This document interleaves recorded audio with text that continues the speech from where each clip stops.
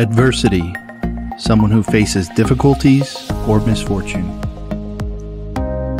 What do you think of when you hear adversity? Does it make you want to retreat or fight to overcome? Adversity in life is normal, and each time you face it head on,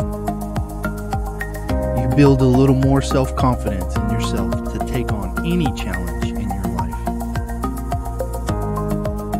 desire to not face adversity usually comes from fear.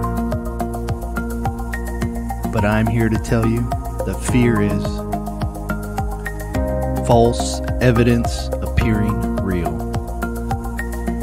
As you face adversity, know that you can conquer your fear.